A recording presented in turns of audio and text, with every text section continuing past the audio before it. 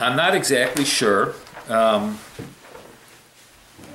how this is going to go, what we're going to do. I've got like this thing uh, in my heart to do a series from now to Easter on the cross.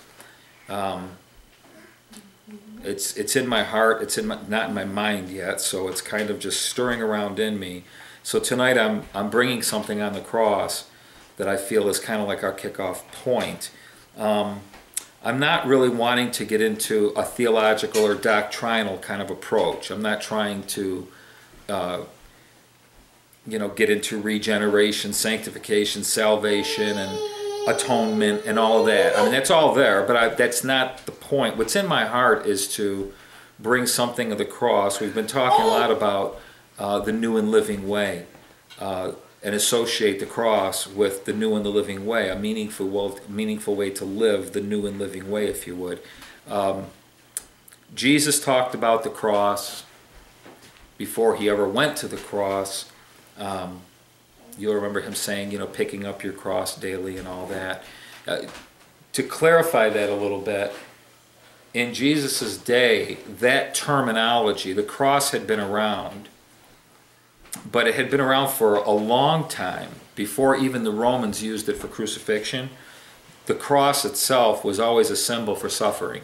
So Jesus being Eastern, which is what the Middle East is, is Eastern, he would have used that terminology basically in saying, listen, if you're going to walk with me, it's going to involve a certain amount of suffering. So be prepared for suffering. This is not a Sunday school picnic. It really kind of makes our 20th century theology makes us scratch our heads a bit for those who don't see how suffering works with the Christian walk, when in fact, Jesus said you, you can't actually have a Christian walk without suffering, quite frankly. So the element of suffering is built into our spiritual DNA when it comes to um, when it comes to our, our, our Christian walk. So Jesus talked about the cross in the context of suffering. He ended up going to, to the cross himself. Paul says a lot about the cross, more than anybody else actually. He seems to be um, he seems to have a lot to say, more than uh, James and Peter and John, and he seems to have uh, more to say about it. Now, I'm looking at like I say, from now until Easter, a long time of talking about the cross. Tonight I just want to go to John 3 and take a look at, as far as I can tell, the first time that Jesus makes a reference to the cross in his own life being crucified. Um, and it's in John 3. John's gospel um, is filled with symbolism, a lot of almost like spiritual codes and messages, a lot of uh, spiritual keys, if you would. It's to me, it's the most fascinating of the Gospels because of the spirituality that's contained in it. And John 3, Jesus' conversation with Nicodemus really kind of uh, sets us up for the whole nature of trying to walk and talk with Jesus, so to speak, in the sense that uh, he's always speaking a spiritual language that we're not quite getting. He's walking in the light, we're walking in the dark. He's talking about heavenly things, we're talking about earthly things. So even when it comes to the cross, he wants to bring a heavenly spiritual message.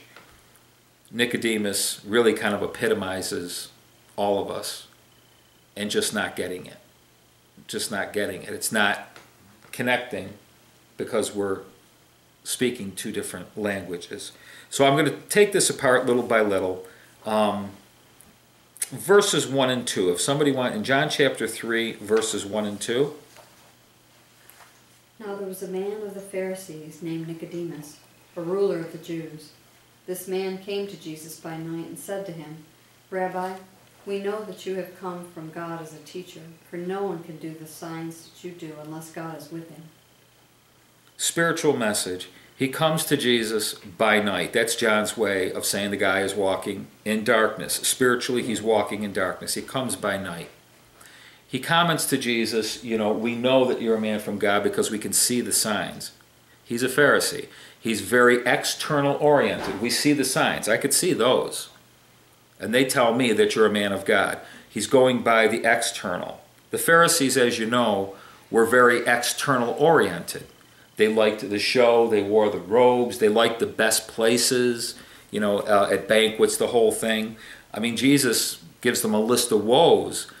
And the, all of the woes have to do with you're so concerned about the externals, the way you appear, all this kind of stuff, instead of the internal working. So we've got this man coming to Jesus, Nicodemus. He expresses a solidarity with a group of other people. He says, We know. You notice what he said? We know that you're, you know, from God. Um, and the external for Nicodemus is where it's at. Now, would you just read the beginning of what you, at the first verse again? One more time. I'll stop you. Now there was a man. That's far enough. There was a man. There was a man. I said a few minutes ago that Nicodemus is going to sort of epitomize us, really. There was a man. Let's forget Nicodemus. There was a man. And I just want to pull you into the way John thinks. Um, Russ, would you go back to the first chapter of John?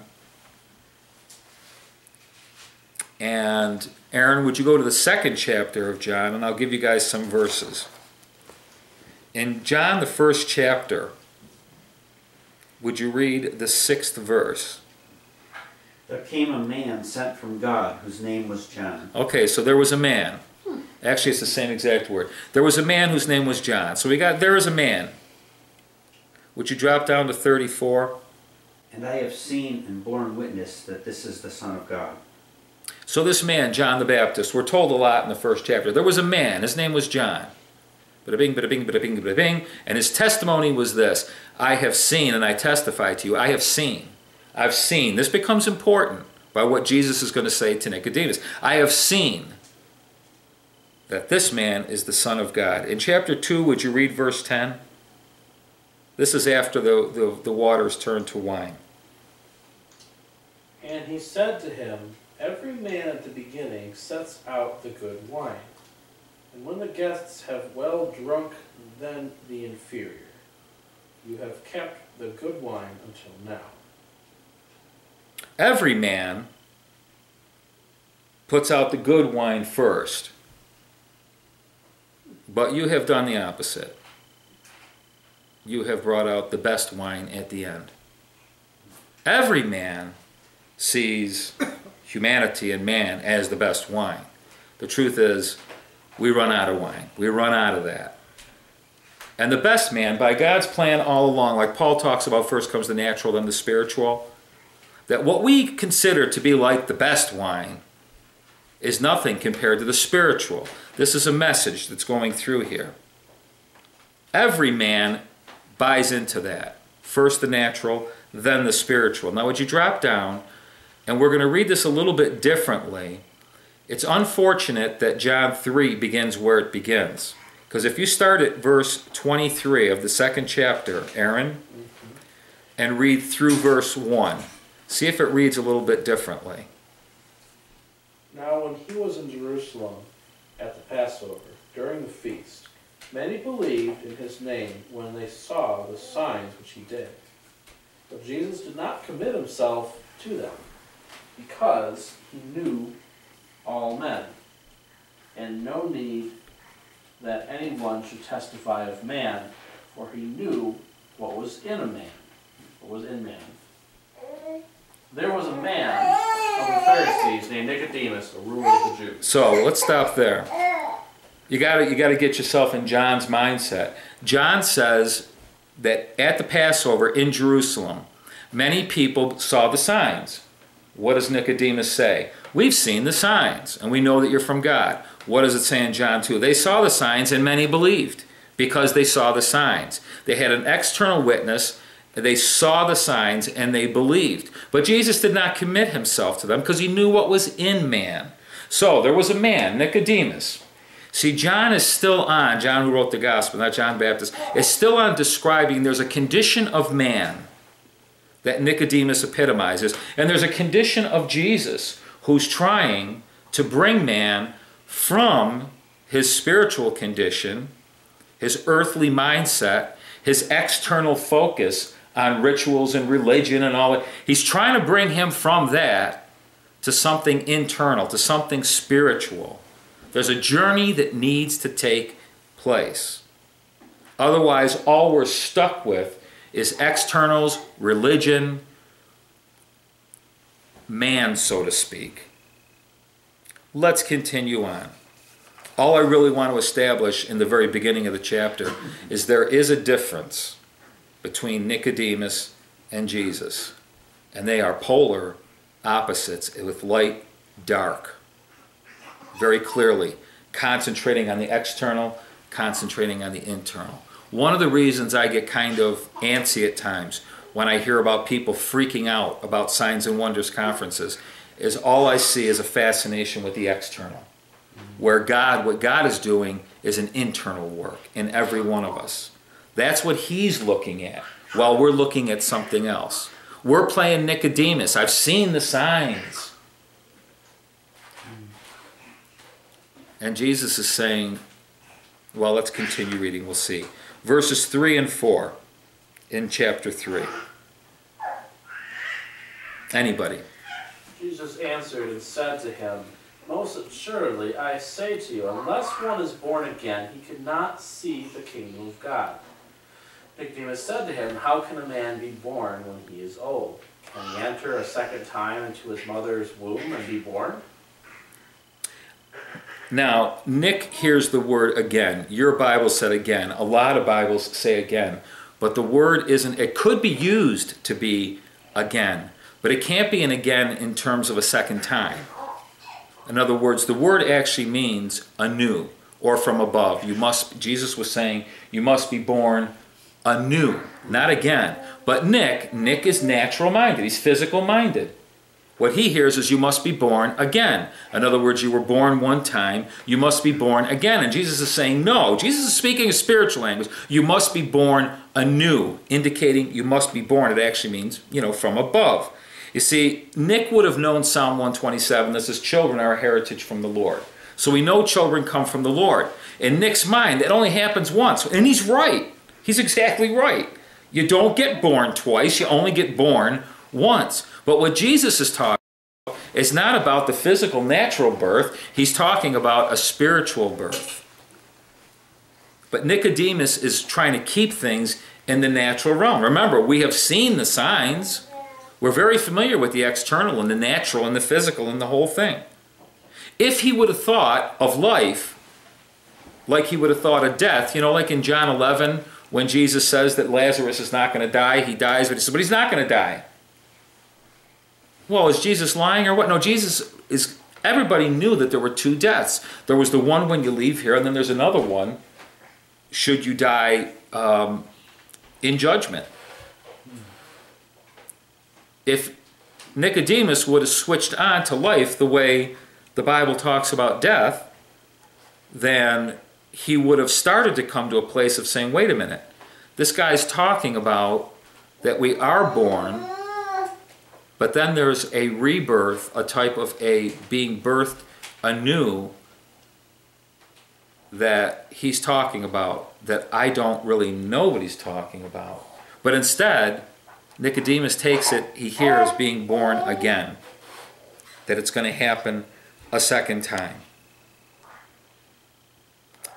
What Jesus is talking about is being born anew that is as dramatic.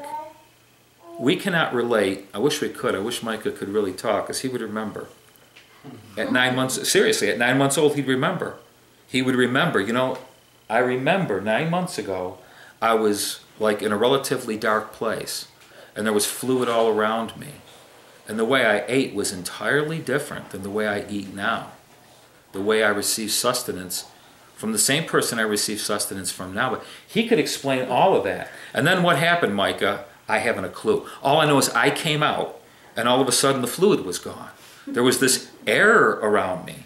I was no longer in the same place. I was in a different. I mean, as dramatic as he could mm. explain that, that's what Jesus is trying to explain, but not in a natural way, in a spiritual way. Wow. Hmm. That when you're born anew, when you come in flesh and blood and you're born, if you're going to see the kingdom of heaven. It's kind of unfortunate that we've made such a huge doctrine over re- regeneration, because I think in all of our doctrinalizing it, we're missing something very important. It was never meant to be a doctrine, it was meant to be a reality of the Spirit that once you're born anew in the Spirit, everything changes. It is as dramatic as the natural birth, the first birth. Mm-hmm. Amen? Mm-hmm. I mean, an entirely different reality. But if you're still focusing and concentrating, like Nicodemus, on the external, the natural, if you're in darkness, what did John say about darkness? Would somebody read the first in John 1, verses 4 and 5? Life was in him, and his life was the light of men. And the light shines in the darkness, and the darkness did not comprehend it. The light shines in darkness, and the darkness doesn't get it.